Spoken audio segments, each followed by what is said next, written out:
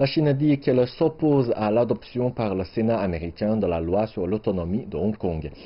La loi prévoit des sanctions contre des individus ou des entreprises que Washington considère comme soutenant des efforts visant à restreindre l'autonomie de Hong Kong. Les États-Unis ont cité la législation récemment proposée sur la sécurité nationale pour Hong Kong comme l'une des raisons de cette loi. Mais l'ambassade de Chine aux États-Unis affirme que la législation améliorera le système juridique de Hong Kong et apportera plus de stabilité à la ville.